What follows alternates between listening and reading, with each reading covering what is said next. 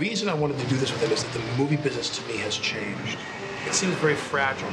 I don't know how much longer the film business can go. The technology is splintering the audience, and it's happening slowly, but something tells me it's going to shatter. Seduced and Abandoned is a sly film shot during the Cannes Film Festival in which Alec Baldwin and yours truly try to raise money for a prospective fictional film.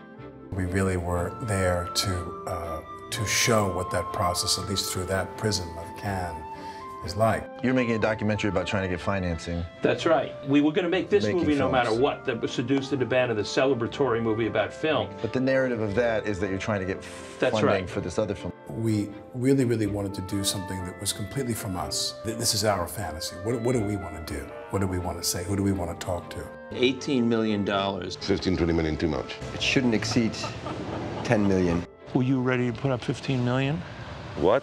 Now we're in a world in which movies are $5 million or they're $205 million. There's got to be a way to make pictures. You did it. Find You find- individuals, new individuals. New individuals, but also new technology. Cinema truly is an art form given to us by the gods. I tried to make the director my teacher. To recreate that. So every film is like a master class. By the end of the film, one gets about as good a sense of not just the Cannes Film Festival, but the world of cinema today.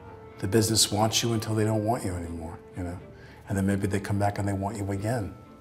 The movie business is the worst lover. You are seduced and abandoned over and over and over again.